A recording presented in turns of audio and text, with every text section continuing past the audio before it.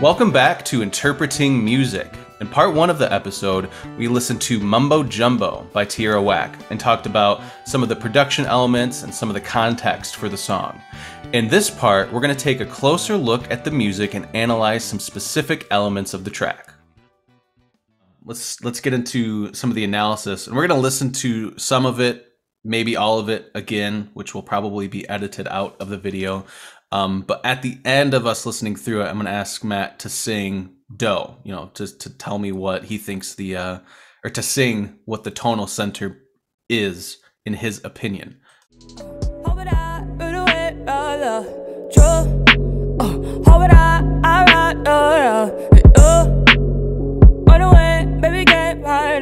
Okay, we just listened to most of the song. Matt, sing "Do." I'm, I'm at a bit of a conundrum because I kind of want to sing the da, but then I'm, I'm feeling like it rests more easily on the da of that kind of background. So the A natural instead of the B natural. Okay, so you're hearing. I'm very Yeah, I feel like you know that B keeps coming back. It's hypermetrically emphasized. It keeps starting the riff over. But Yeah. the A, and what I'll tell you what's doing it for me with that that A as a resolution point is that the bass drops out on the downbeat of that second measure. So like Yeah. that A becomes a lot more prominent than it is. Yeah. Um, so Huh. I'm, I'm I'm actually probably you're starting to in a bad one, but You hear B, maybe A.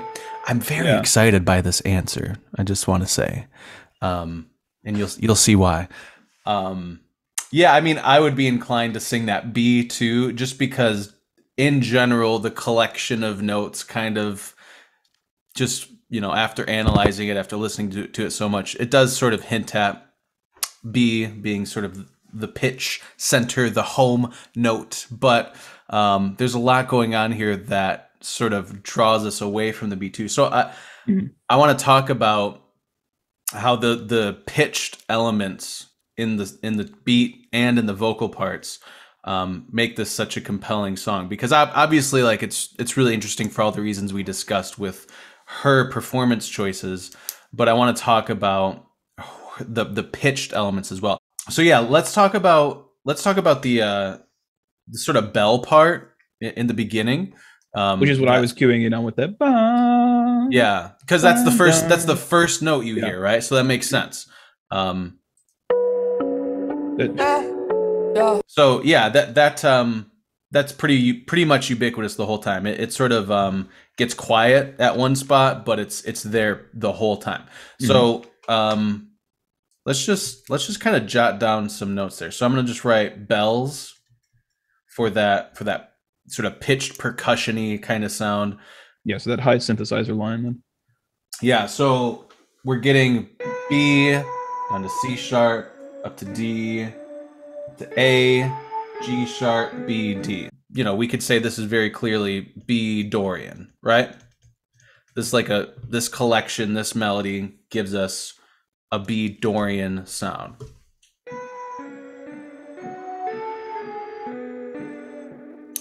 So that Just just to be clear, then you're saying B Dorian because it's minorish with the D natural, and it's got a raise six with the G Right. sharp and raise six from minor. I mean, Right. Yeah. Okay. Yeah. So this is um this is definitely B Dorian, right? We can agree on that. This Mhm. just this abstracted from the song is B Dorian. Right. So then um you say A possibly as an answer and there's two reasons that that's really interesting. So the reason that A, the first reason that A I think is also a worthy candidate for what is tonic is in the very beginning when she sings her little yups.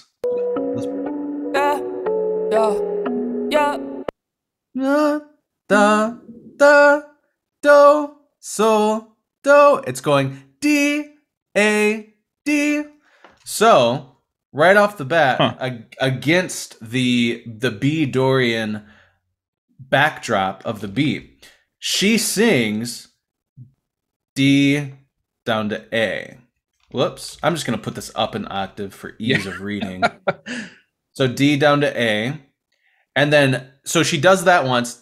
Da, do, da. Doesn't sound very hip without the beat, but you know. And then, and then after that, two times in a row, she she she arpeggiates a D major chord. She goes na na na. So we're Huh. getting an arpeggiated D major chord over this B Dorian um, melody. So let's just listen to that once. And I think this is why it's you know saying ah maybe A is the the tonal center. So you're you're hearing what would be you know the fifth scale degree, which is an important scale degree in in the major key, right? In D, we Right, could just say right. we could just say D Ionian for now since we're talking in Mode. terms of mode. So D Ionian, D major, same collection of notes. Let's listen to that. Yeah, yeah, yeah, yeah, yeah, yeah, yeah, yeah. So if if Hmm. the if the synthesized bell part wasn't there at all, you would just say that's a D major triad with no other information. I'm saying this is in D major or this is a D Ionian melodic thing. Does she, does she not sing a C sharp? Am I crazy? When she when she switches to that low F, I, I'm pointing at my When she screen, you goes up that, to when she goes back up to um yeah, that oh Was that a maybe C or a C sharp. I mean let's listen. Yeah, yeah, yeah, yeah, yeah, yeah. yeah. Yada. I'm hearing a No. D. Yeah, yeah, Okay, I hear I hear a slide. I do hear. Okay, she Yep. kind of yeah yeah I heard it that time too. Yeah, I mean it's so here. If we want to be really uh she's got like no. a grace note C sharp there or something. Yeah, Yeah, we'll- okay. we'll put a uh, yeah yeah but you're right it, it is there's i didn't hear that before um that Well, sounds 'cause cool she's and she's so like articulate on the first two uh the first two D Yeah. pitches Dun, sings, right? It's like dun. done done yeah you're right that's cool So she's I hadn't almost noticed that. D then. She's like because I because with that C sharp leading tone, it's like oh ti do. Yes I didn't exactly. and, and I didn't pick up on that when we when we listened back to it again. yeah. Um, so just which makes really it for quick, me that makes that A center a lot less likely to happen. let let's keep going with down this this train of thought because um the next portion of the song where we could sort of call the verse right? It is very much a d major pentatonic kind of melody that always lands down on a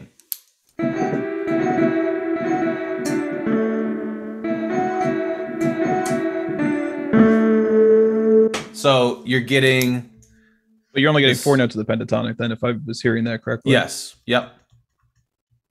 So you're getting this sort of um, going around that F sharp E, and you're going down to D, Mhm. then down to A. So you're getting a very clear three, two, one in D, right? And then landing down on that A.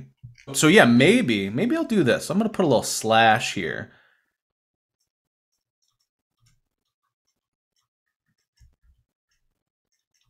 Okay. So yeah, definitely has pentatonic vibes, especially I think when when she comes in singing uh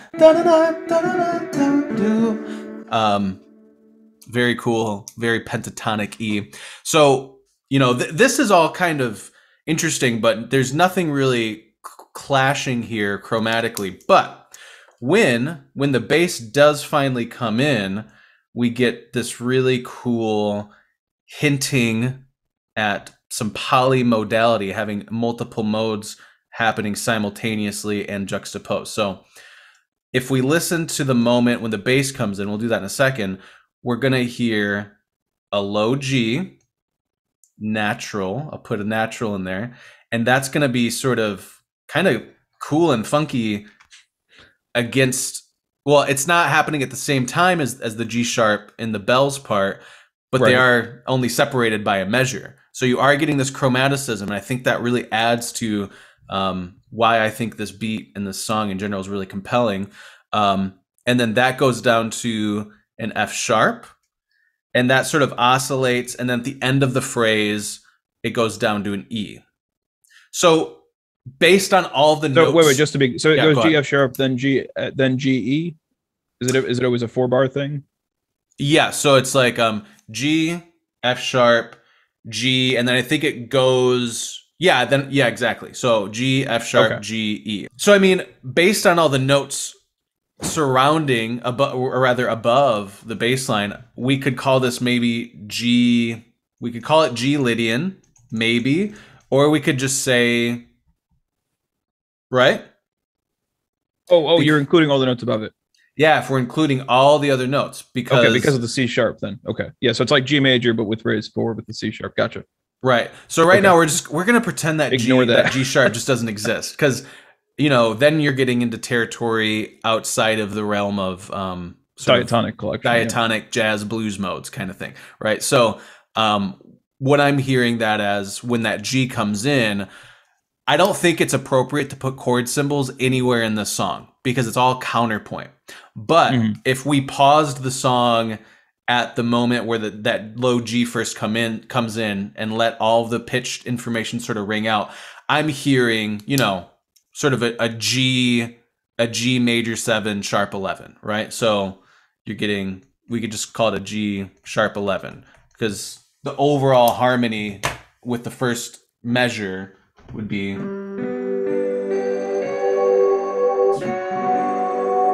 you have the okay. major seven in there and the sharp 11 You got your G, B, D, F sharp, and then C sharp.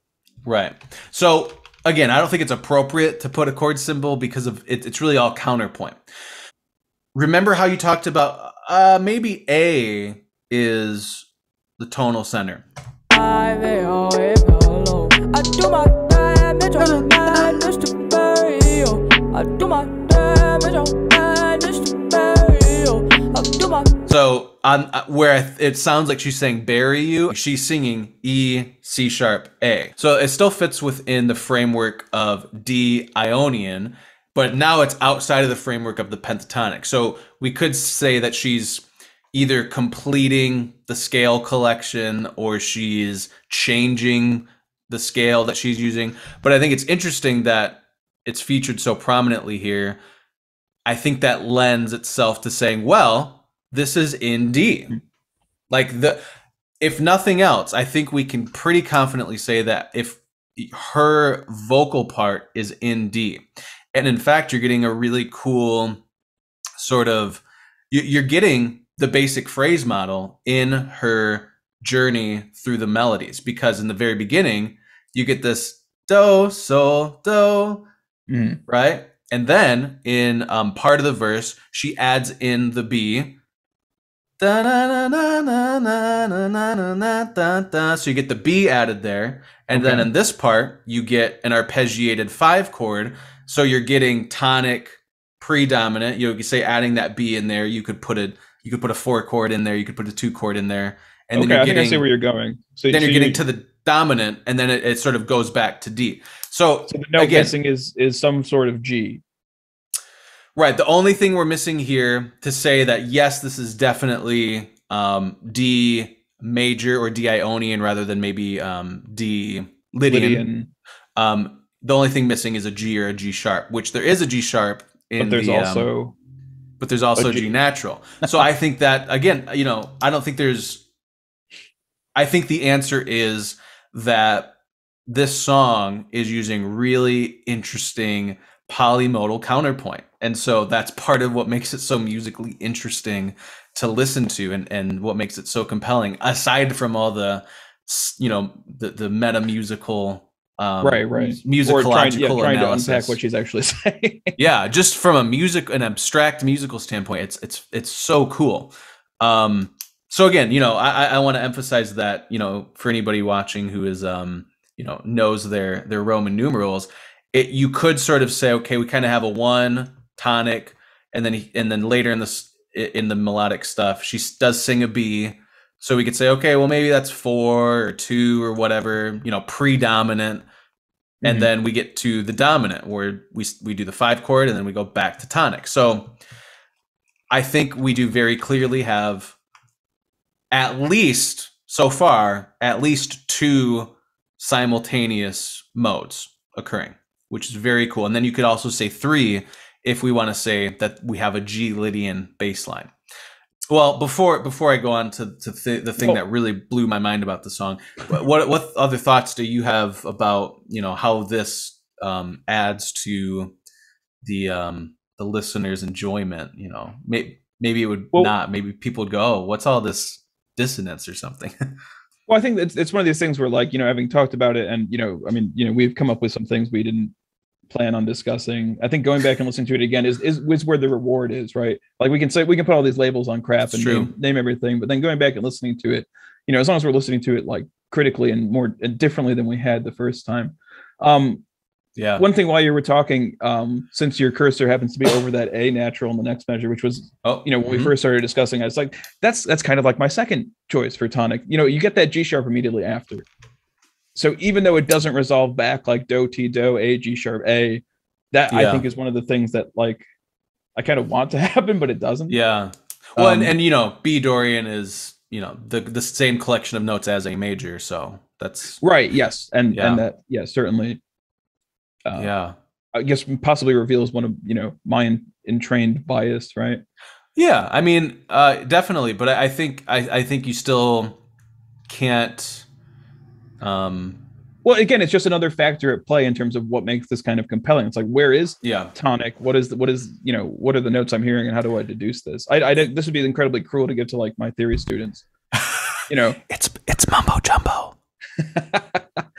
It's so kind not, of yeah, so not only are the lyrics hard to understand it's also hard to figure out where we are uh, not necessarily maybe in a diatonic collection but in terms of a pitch center we've got like a lot of variables Yeah, I, I think play. most people. Well, no, I don't want to say that. I was going to say I think most people would sing B, but I could probably be proven wrong pretty pretty quickly. But you know, uh, i think like g is a really compelling candidate though because of the low it's the lowest pitch you hear so i mean like Yep. You know as a tuba player bass player i usually gravitate towards that low note But so I want to get to one more thing um, Cool. about this whole polymodal counterpoint thing. Up until a certain point in the song, you're getting juxtaposed chromaticism. You know, chromaticism um, separated by time, right? So you're getting you're your G natural. about the g g sharp Yes. Otherwise, that's the only chromaticism, right? You're Mm-hmm. the G and the G sharp, but they're separated by a measure. This changes because when, later in the song, when she sings na na na na na, she sings a G natural, a, Oh. like an eighth note separated from the G sharp in the in the bell part.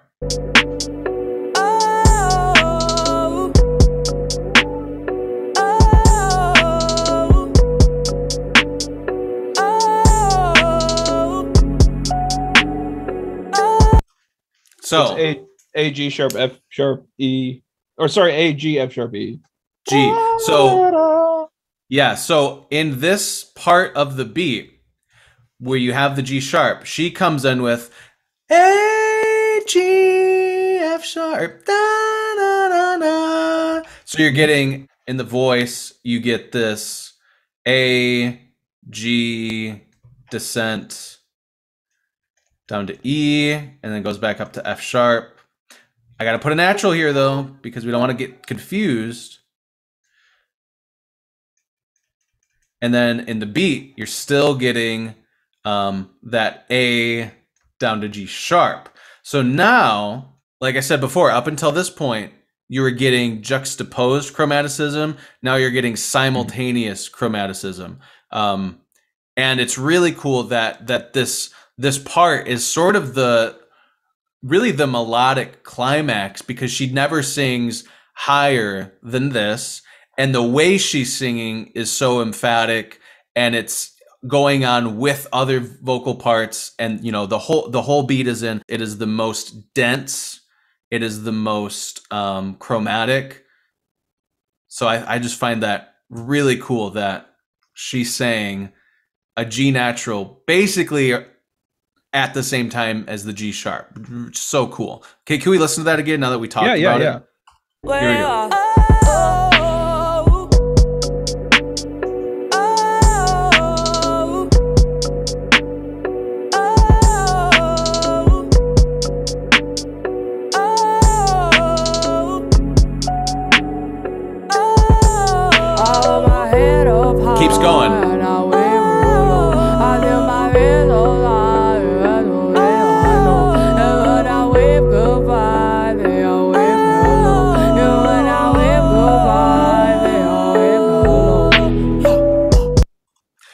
Yeah, that's really cool. Furthermore- yeah, I wouldn't have noticed that unless you picked that out. Yo, I didn't notice it either until I started sort of roughly transcribing like everything, and then I went, wait a minute. um, and what else is cool? I, I this I'm just now noticing this. She's singing that over the second bar of the loop, so there's an F sharp in the bass. so let's add to this because she we're getting, you know, basically a, a zero one two set here if we want to get really just over the top pedantic because this is the part of the loop uh, or of the bassline progression with the, Oh, the F sharp. So we're getting okay. an F. We're getting an F, yeah. It's separated by by you know a big range, but we do have an F sharp in the bass. Mhm. We have a G natural in the voice, and we have a G a G sharp. So very cool, very cool. Well, just what's really cool to me, I mean, so um, is the the way the kind of the vocals unfold, right? You start off with this pentatonic collection, hmm then you add that that leading tone C sharp, and then you finally add that G at the very end, and that Yeah. kind of melismatic hmm um, motif. So you've got kind of this, you know, if you want to do a big picture kind of hierarchical unfolding of of a pitch center, you've got kind of this D, D major option. Right. Um, you've got kind of this B Dorian option, which fits mostly with that D pentatonic idea. hmm Um, it's not as there. It's it's almost like yeah. So we're getting like the relative major, relative minor, uh, Right. Kind of collections being emphasized, and then you get this almost like the bass doesn't resolve where you want it to. Yeah, because that a lot of E that. E always goes back up to G. It doesn't go down to D or yeah. and it doesn't go and that F sharp doesn't go up to B ever, so we don't get that sol do if we're thinking of B.